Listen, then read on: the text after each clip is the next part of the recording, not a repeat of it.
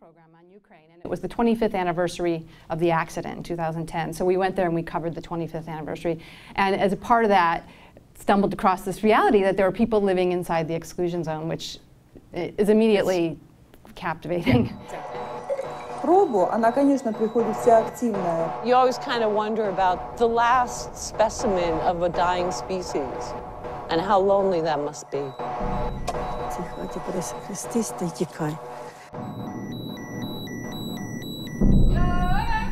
Надо было в то время убрать людей отсюда.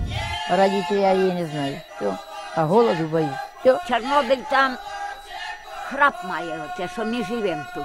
Нікуди не поїду, хай мене під пістолетом. As you can see, it's a, a beautiful place, and um, the villain in the story is invisible, which is Yeah. a challenge for a filmmaker, really, because um, and and uh, you know, so what we knew all along is that the tension of being in the zone had to be somehow captured, you know, Right. and so uh, is you, you kind of as the film goes in and out from focusing on the women and what their reality is, and then this sort of satellite of characters and stories going on around them, and the zone itself really.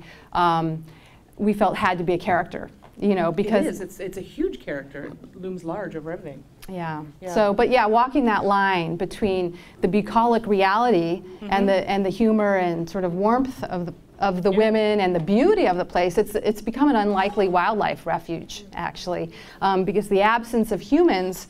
Uh, was a greater boon to the wildlife radiation uh, than, than the detriment of radiation. So it's a funny equation. For, uh, you know, a total of like 18 days um, and lots of restrictions. You can only go in for a certain amount of days. You're in at 9 a.m., got to be out by 5. You go through radiation. You have a Geiger counter at all times. As you saw, the character Vita was our monitor, our guide. And, um, and then when you leave the zone, you also go through radiation checks. I think it's fascinating that the the video game, the stalkers, that they they that that's okay.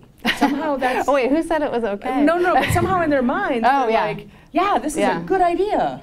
Well, um, it's a con- I, I'm fascinated by the Yeah. stalker story, and it, they were a difficult story to get and a, and a difficult story to make work in the film because you can see they're on, they're odd man out for a long time, but about three quarters of the way through, hopefully it worked. Where you know you realize they are kind of representing the next generation. Yeah. And as the women die out, really, what's going to be left? The wolves and the stalkers, and, and and the people building the sarcophagus. Right. So, um, uh, and also they're, you know, at first blush, it's like they're these rebellious teenagers imitating a video game.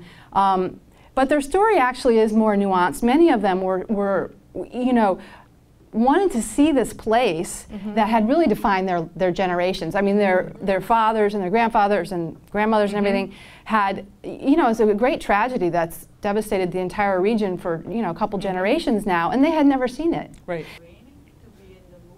Did you give them any training or coaching? No, not at all. Um, they were naturals.